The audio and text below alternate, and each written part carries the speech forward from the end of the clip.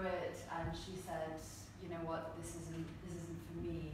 Because in the original screenplay, um, it finished with the children actually committing suicide, and she she didn't she, didn't want to tell that story. She wanted to tell to tell a story that was a little bit more optimistic, a little bit more hopeful. You know, where they could find a way of living happily together. So. Um, there was a bit of back and forth, and uh, they they finally kind of the, the screenplay. Um, the, the person who wrote the screenplay to basically edit it a little bit, and she was really happy to do so. She thought that was a, another really way of telling you know the same kind of story with the sort of issues. Um, so yeah, then they started filming that in 2017, um, and uh, the first chunk of the filming happened in uh, Russia. So it was about 180 kilometers away from um, Moscow, just to the south. So they wanted to pick a location that pretty much looked like um, a place where a lot of Russians live. You know, it, it's very much a story that's not set in Moscow. It's not set in like you know cosmopolitan place. It's it's set in a place. Yeah, exactly. It's, it's set in a place where where people are just trying to get by and they're trying to live their lives, and it's it's more difficult, it's less glamorous. Um, you know, as as the film touched upon, there's, there's a lot more problems with alcoholism. There's certainly problems with um, you know, drug addiction. Um, also, what they refer to as sort of social orphans. Um, so in, in Russia, in the last 20 years, there's been a, a rise in this kind of phenomena where um, just a lot of people can't can't support their children. They're unable to, whether it's financial, social, or economic. Know, a lot of children, a lot of children end up being in the system, um, even though their parents are still very much alive, but they just they just can't be supported. And this was an issue that Vera um, cared deeply about, and some of her previous works as well touched upon this. She was really sort of concerned with family and this idea that you know something something is kind of happening in the modern world, the modern world where um, you know people can't really seem to stay together, and uh, so yeah, it was something that was really personal to her. Um, you know, this idea of family connection and connection to each other, and how we can kind of keep our humanity through our own personal struggles, even though they, you know, very much overwhelm us at times. It's these characters clearly sort of struggled with throughout.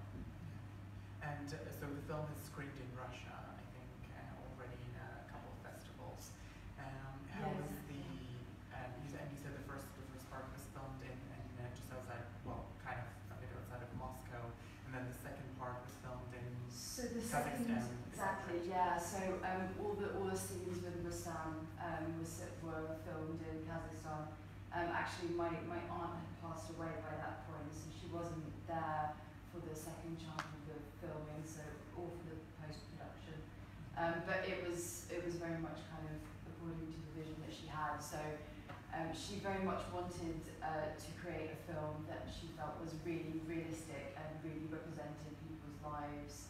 So she, she didn't really want to do anything. She didn't want to create sets. She wanted to film in real houses and you know um, not really stylize it too much. She just wanted it to appear to appear pretty authentic.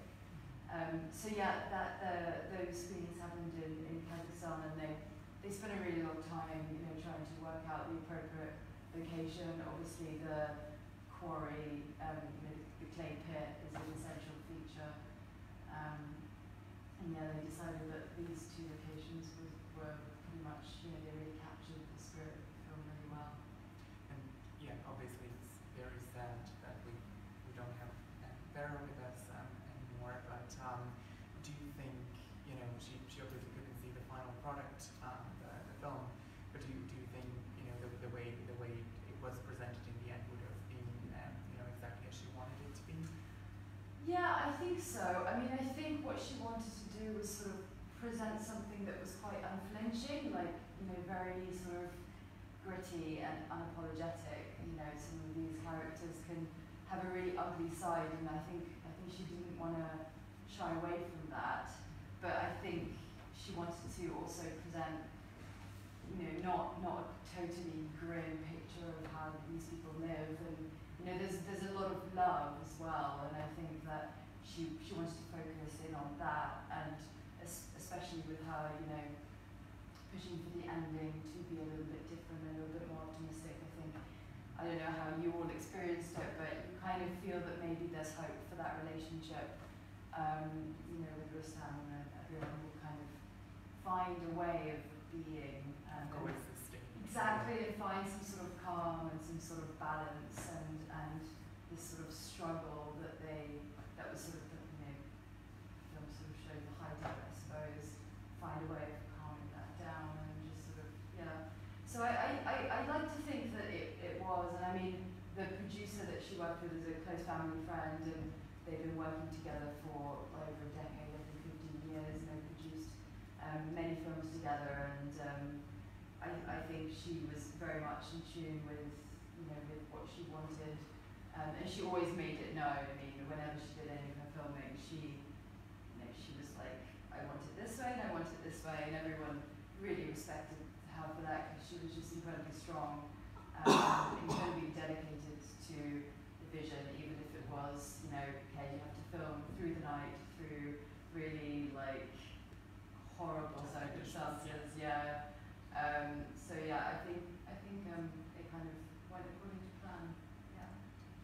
Um, do we have any questions from Where was Rustam from? Kazakhstan or? Yeah. Yeah. So I think the actor was born in Almaty. Um, but yeah, so I think just kind of rural Suppose. We don't really get that much I more. I was thinking Dagestan, perhaps. I figure out where. No, I, I think, I mean, it's not very specific in the film, but I think from, from hearing conversations about the film, I think it was, yeah, supposed to be Kazakhstan, and they, they filmed everything there, so I think, yeah. animals? So just, your aunt is not living anymore? Yes, unfortunately, she passed away, yes, um, in what happened? 2017.